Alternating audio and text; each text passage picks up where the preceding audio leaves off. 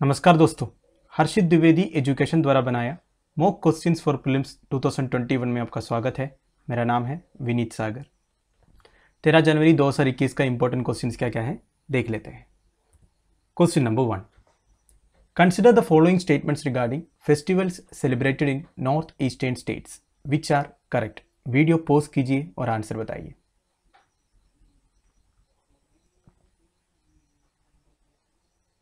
आई hope आपने answer किया होगा। Now the answer is option D one two and three दोस्तों, ज़्यादा एक्सप्लेनेशन की ज़रूरत नहीं है। Losar is a major festival in Arunachal Pradesh तो दोस्तों बेसिकली नॉर्थ ईस्टर्न स्टेट्स में जितने भी इंपॉर्टेंट इंपॉर्टेंट फेस्टिवल्स मनाया जाता है, उसके बारे में जानकारी होना बहुत ज़रूरी है। इस तरह के क्वेश्चन पूछा जाता है प्रिलिम्स में। तो लोजर अरुणाचल प्रदेश का है दोस्तों। Saga Dawa is a major Buddhist festival in Sikkim celebrated in Tibetan lunar month Bhogali Bihu इसे harvest festival celebrated in Assam which marks the end of harvesting season ये जनवरी, फरवरी के बीच में होता है दोस्तों basically end of the harvesting season है। तो आज न्यूज़ में भी एक कवर किया था भोगाली बिहू के बारे में न्यूज़ तो हमें हमारा आंसर मिल गया option D one two and three question number two recently, reserve bank of india introduced the legal entity identifier.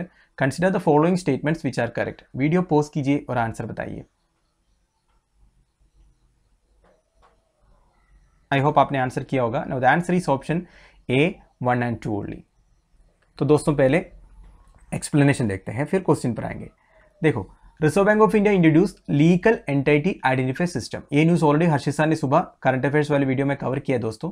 तो बेसिकली कुछ नहीं है 50 करोड़ से ऊपर जितने भी इंटरनेशनल ट्रांसैक्शन होगा, इसमें लीगल एंटिटी आइडेंटिफाई सिस्टम का प्रोविज़न होगा। तो ये नाम से आपको पता चल गया it is a identify system देखो, ये एप्लीकेबल किसमें है? एनईएफटी में आरटीजीएस में। System is being introduce to identify the legal entities involve in financial transaction मतलब कौन भेज रहा है, कौन रिसीव कर रहा है ऐसा डाटा अभी से बैंक हैव टू इंक्लूड पूरा information about the remitter and beneficiary ठीक है? अब देखो दोस्तों इंटरनेशनल ट्रांसैक्शन जब होते थे ना तो ग्लोबली एक आइडेंटिफाई सिस्टम की कमी थी। इसलिए इंटरनेशनल ऑर्गेनाइजेशन फॉर स्टैंडर्डाइजेशन करके एक एजेंसी ने बनाया है तो आरबीआई भी अपनाया है ये सिस्टम जो है। इस, ये जो लीगल एंटिटी आइडेंटिफाई सिस्टम एक 20 डिजिट यूनिक नंबर है। ये जो 20 डिजिट्स में ना एक एक डिजिट एक एक इन्फॉर्मेशन देता है। जैसे पहले चार कोड एक इन्फॉर्मेशन देगा, फिर चार कोड से दूसरा कुछ इन्फॉर्मेशन पता चल जाएगा। तो इस तरह की 20 डिजिट यूनिक नंबर है ये। तो हमारा क्वेश्चन पर आता है। देखो स्टेटमेंट वन क्या कह रहा है? Applicable only to large value transaction over rupees fifty crore बिल्कुल सही है। In centralise payment system centralise payment system मतलब जो N E F T R T G S ये सब होता है। It is a 20 digit unique number which acts as a global identifier for entities participating in financial transaction. बिल्कुल सही है। Under the system banks may not disclose the information about the remitter and beneficiary बिल्कुल गलत है। Question number three consider the following statements with respect to north east venture fund which are correct video post कीजिए और answer बताइए। I hope आपने answer किया होगा। Now the answer is option C one and three only तो दोस्तों, पहले explanation देखते हैं, इसके बाद हम क्वेश्चन पर आएँगे। नॉर्थ ईस्ट वेंचर फंड नाम से आपको पता चल गया होगा, ये नॉर्थ ईस्टर्न स्टेट से रिलेटेड है। It's a first of its kind financial instrument dedicated for the north eastern region right अब देखो, ये लॉन्च किया है ministry of development of north east region D O N E R are तो ये ministry of minister of development of north eastern region कौन है?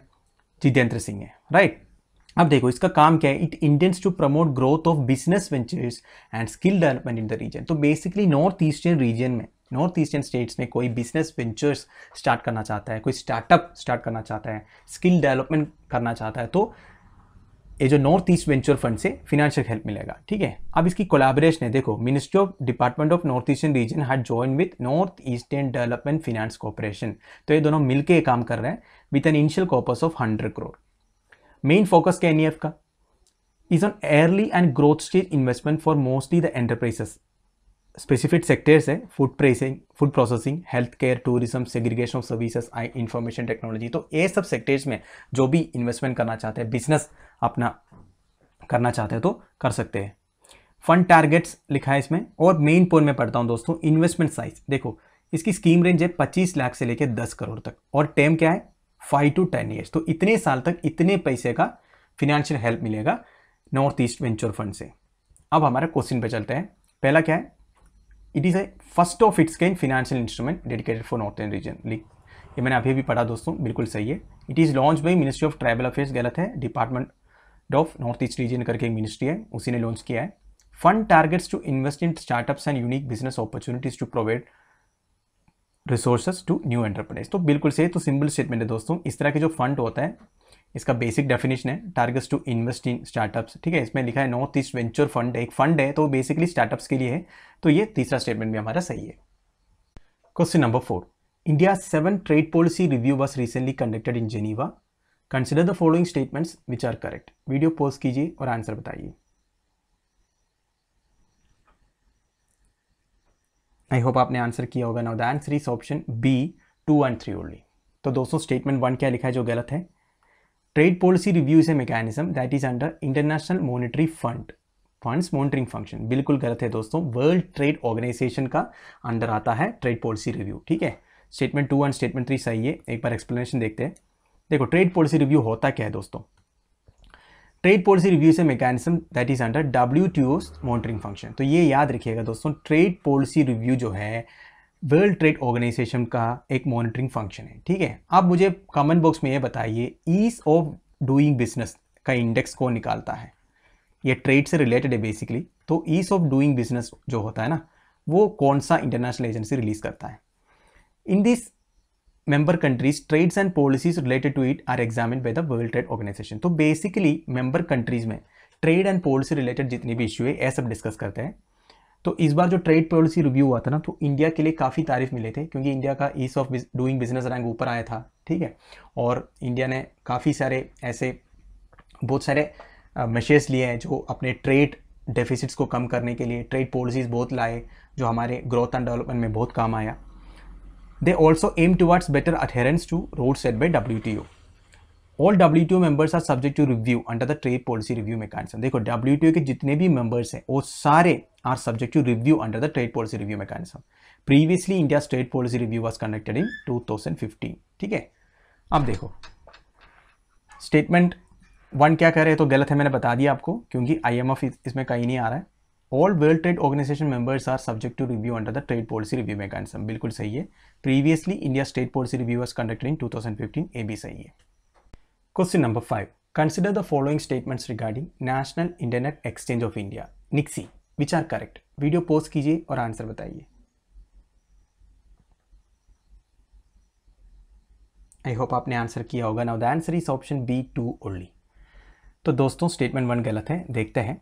निक्सी निक्सी मतलब क्या है दोस्तों? National internet exchange of India is a non profit organization which has been working since 2003 for spreading internet technology to the citizen of India through the following activities तो basically internet related जितने भी technologies हैं, वो provide करते हैं national internet exchange of India ये कोई government organisation नहीं है, कोई स्टैचुटरी बॉडी नहीं है, कोई कॉन्स्टिट्यूशनल बॉडी नहीं है। ये बस एक नॉन प्रॉफिट ऑर्गेनाइजेशन है बट इसकी जो एक्टिविटीज़ है इंडियन सिटीजन को इंटरनेट टेक्नोलॉजी में बहुत हेल्प करता है। जैसे Indian registry for internet names and numbers I R I N N सबसे इंपॉर्टेंट जिसे I R I N N ये मेंटेन करता है, ठीक है? Indian registry for internet names बाकी बहुत कुछ लिखा है, पढ़ लीजिएगा।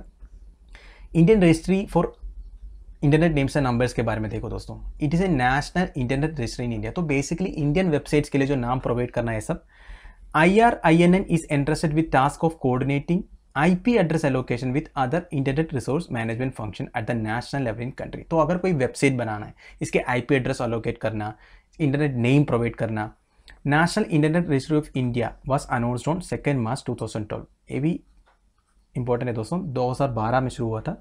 अब एन के बारे में, ये भी एक non profit affiliation based organization functioning under N है। तो एन का अंडर ही आता है एन भी। ये भी एक नॉन फॉर प्रॉफिट ऑर्गेनाइजेशन है। तो हमारे क्वेश्चन एक बार देख लेते हैं दोस्तों। स्टेटमेंट वन में क्या करा है? It is a statutory body इधर ही गलत हो गया। नॉन फॉर प्रॉफिट ऑर्गेनाइजेशन है। Indian registry for internet names and numbers ये जो है निक्सी के अंडर आता है, ठीक है? बिल्कुल सही है। तो हमारा answer option B two only तो दोस्तों, हमारे daily five mock question for film इधर खत्म हो रहा है। कल एक क्वेश्चन पूछा था consider the following statements which is incorrect option A is incorrect smallest union territory in India is Daman Diu नहीं है। लक्षद्वीप है। लक्षद्वीप जो अरेबियन सी में है। बाकी तीनों स्टेटमेंट्स जो है, सही है दोस्तों। आज का क्वेश्चन देख लेते हैं। Through which of the following states Aravalli rangers does not pass इस क्वेश्चन का आंसर आप मुझे कमेंट बॉक्स में बता दीजिएगा। तो दोस्तों, हमारे वीडियो उधर ख़त्म कर रहा हूँ। आप लोगों की वैल्यूबल सजेशंस एंड कमेंट्स जो है कमेंट बॉक्स में बता दीजिएगा। Thank you for watching have a next day